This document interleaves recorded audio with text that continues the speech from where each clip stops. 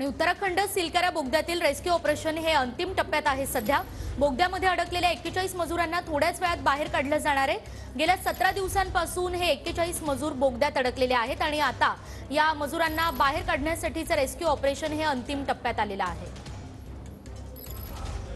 उत्तराखंड सिलकारा बोगद्यामध्ये गेल्या सतरा दिवसांपासून हे मजूर या ठिकाणी अडकलेले आहेत आणि आता या मजुरांना बाहेर काढण्यासाठीचं मिशन हे अंतिम टप्प्यात आलेलं आहे.